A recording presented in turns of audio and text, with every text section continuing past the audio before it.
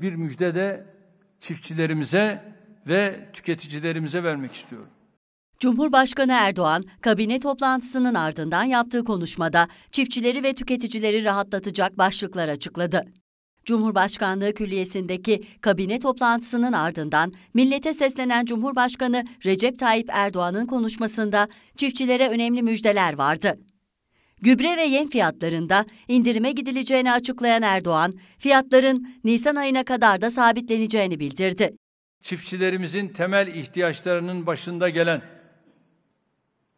çiftçi kardeşlerim, özellikle bunu size hatırlatıyorum. Gübre ve karma hayvan yeminde daha önce bir dizi indirimi hayata geçirmiştik. Şimdi yeni bir adımla çiftçilerimizin en önemli girdileri olan kimyevi gübre ve karma hayvan yemi fiyatlarında hem indirim yapıyor hem de fiyat sabitlemesine gidiyoruz.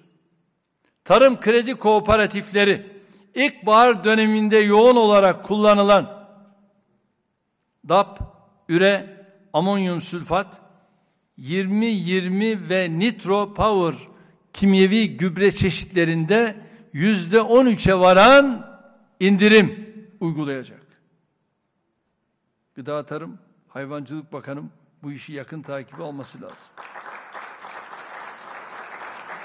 Aynı şekilde karma yemde de yüzde beşe varan indirim yapılacak.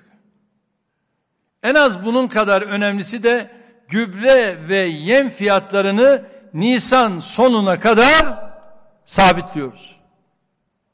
Şayet bu dönemde gübre ve yem fiyatlarında üreticimiz lehine bir gerileme olursa elbette bunu yansıtacağız.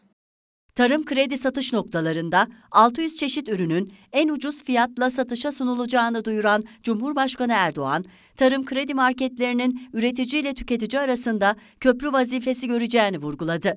Bir diğer müjdemiz de tüketicilerimize. Tarım Kredi'nin 1520 kooperatif, 400 mini kop veya kop mini, 250 kop bakkal olmak üzere toplam 2170 hizmet noktasında 600 çeşit ürün en ucuz fiyatla satışa sunulacak. Temel ihtiyaç maddeleri. Bilindiği gibi tarım kredi kooperatifleri sadece üretim öncesi çiftçimize destek olmakla kalmıyor. Ürünü de alıp işleyerek marketlerinde satışa sunuyor. Bir başka ifadeyle üretici tarım kredi tüketici arasında doğrudan bir kanal kuruluyor. Böylece kimi ürünlerin en uygun fiyatla satışa sunulabilmesi mümkün oluyor.